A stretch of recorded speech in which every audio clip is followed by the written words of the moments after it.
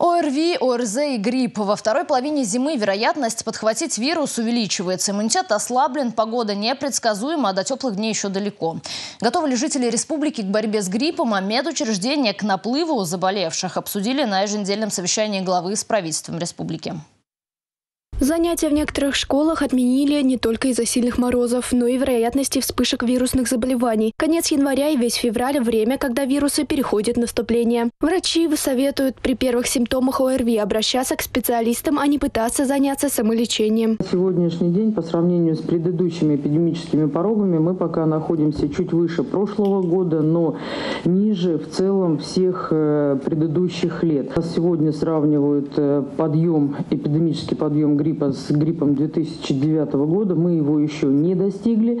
И в течение, и дай бог не достигнем, и в течение всех предыдущих месяцев мы были значительно ниже пороговых значений в сравнении с 2009 годом. В этом году мы впервые привили практически каждого третьего жителя Чувашской республики. Основное число – это дети и декретированная группа, и э, граждане старших возрастных групп, то есть это пенсионеры и пожилые лица. И мы считаем, что вот пока мы удерживаем ситуацию благодаря тому, что провели вот эту иммунизацию. Болезни лечатся лекарствами, поэтому, считает глава Чувашии Михаил Игнатьев, профильное ведомство в период возможной эпидемии должно отслеживать ситуацию на фармацевтическом рынке республики, чтобы не допустить неправомерного повышения цен. Екатерина Куприна, Надежда Яковлева, Сергей Рябчиков, Республика.